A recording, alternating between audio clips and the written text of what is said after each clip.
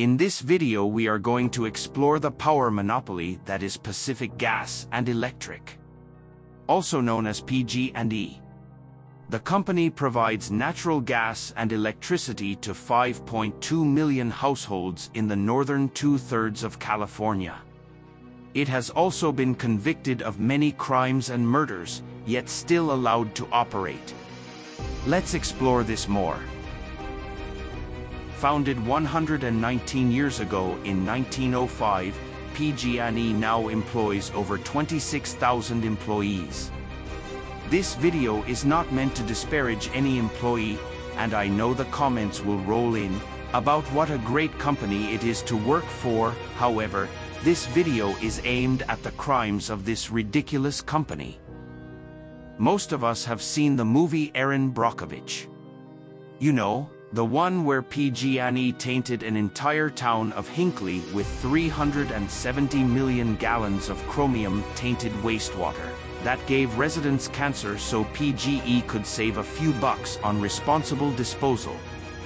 The company was court-ordered to pay out 333 million to its victims. At the time it was the largest settlement ever paid in a direct action lawsuit. By 2013, PG&E had cleaned up 54 acres, but the entire remedy will take another 40 years. Then we have the San Bruno pipeline explosion. At 6.11 p.m. on September 9, 2010, a 30-inch diameter steel natural gas pipeline exploded into flames in the Crestmoor residential neighborhood.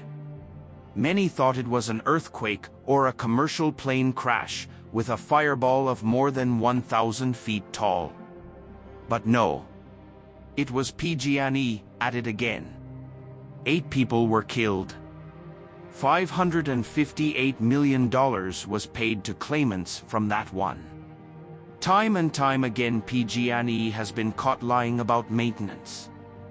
The pipeline was laid in 1956. Investigators reported that it didn't even meet the standards for 1956. Another natural gas explosion they caused in Rancho Cordova killed a man in his home and injured several others. PG&E was fined 38 million for negligence by the California Public Utilities Commission. PG&E has been charged a few times with knowingly and willfully violating the Natural Gas Pipeline Safety Act. They falsify maintenance logs, fail to locate and mark gas pipelines. They pretty much do what they want and literally get away with murder. Then if charged or fined they hike their rates and pass those fines on to its customers.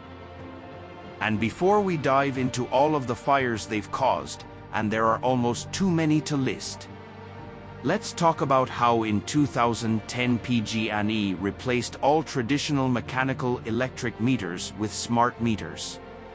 Many customers reported soaring bills and questioned the accuracy of the new smart meters. The CPUC conducted an investigation and found them to be accurate, leaving customers to just deal with the new higher costs of electricity. Some customers with the smart meters report illness and even cancers from the new meters. In 2011, PG&E spent 79 million on lobbying to stay a monopoly and not paying any taxes during 2008 and 2010, instead getting 1 billion in tax rebates while making a profit of 4.8 billion. Shady practices for sure. For some reason they have falsified tens of thousands of call before you dig records. They endanger their own employees and the public and their customers that pay them 80% higher rates than the national average. Yes, they are now working at a snail's pace to bury power lines and remove trees from pipeline areas. But is it enough? Let's talk now about the epic and deadly fires they've caused. Buckle up. And sorry if this triggers my fellow PG&E fire survivors. Stop watching now if you are sensitive to this topic. PG&E equipment has often been the cause of many fires in California. Yes, California has seasonal wildfires and that's natural. We are going to explore some of the fires this company has actually been convicted of starting. In 1994, there was the Trauner Fire. 500 acres burned, and they caught 739 counts for negligence for not trimming trees. It took the court clerk one and a half hours to read all of the counts during court proceedings. We lost a historic schoolhouse and 12 homes in the town of Rough and Ready. Also during this trial, it was brought to light that PG&E had diverted nearly $80 million from tree trimming funds into shareholders' profits. In 1999, they caused the Pendola Fire. 11,725 acres burned within the Tahoe National Forest and the Plumas National Forest. This one cost about 4 million to fight and suppress. A settlement was brought of 14.8 million that went towards restoration and suppression costs. There was the Sims fire and Fred's fire in 2004. And an electrical explosion in 2005. Just ridiculous. There was the 2014 Carmel gas explosion, where faulty maintenance logs were blamed once again and PG&E settled out of court on this one with the city of Carmel. In 2015, there was the Butte Fire. This one was in Amador County and burned 70,000 acres.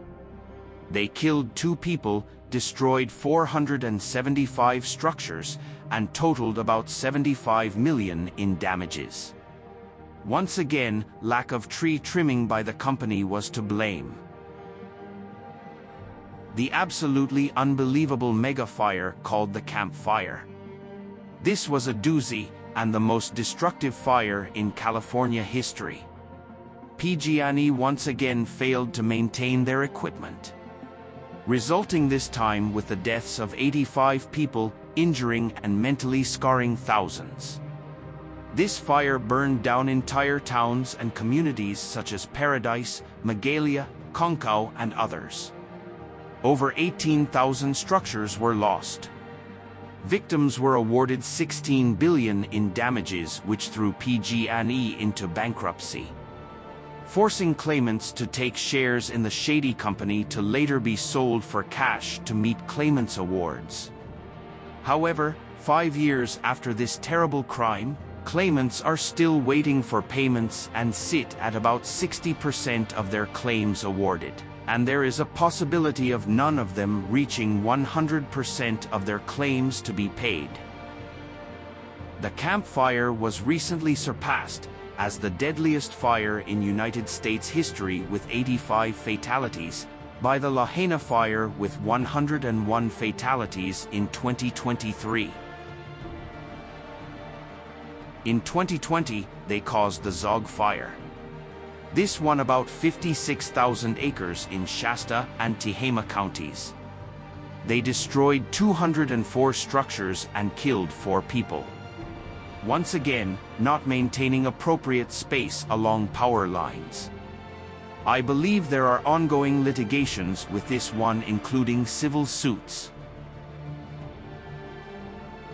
There was the Redwood Fire, the Sulphur Fire, the Cherokee Fire, the 37 Fire, the Tubbs Fire, the Kincade Fire, the North Bay Fire, the Dixie Fire, the Blue Fire, the Pocket Fire, the Atlas Fire, the Adobe Fire, the Cascade Fire, and the Ghost Ship Fire, all caused by faulty PG and E equipment.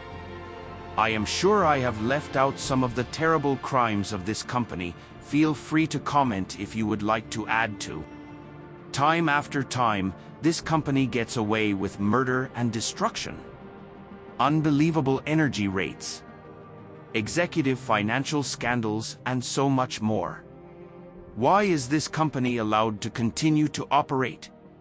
Why isn't it broken up into smaller, more manageable sub-companies?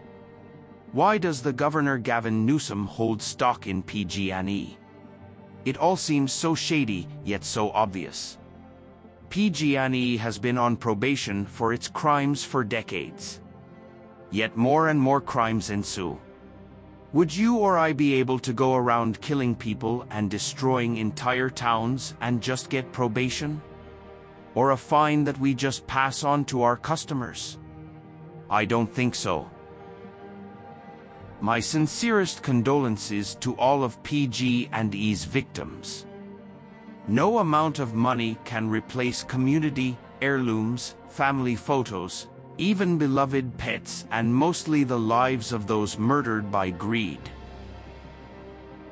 As of now, the big plan is to just turn off and shut down power during high wind events.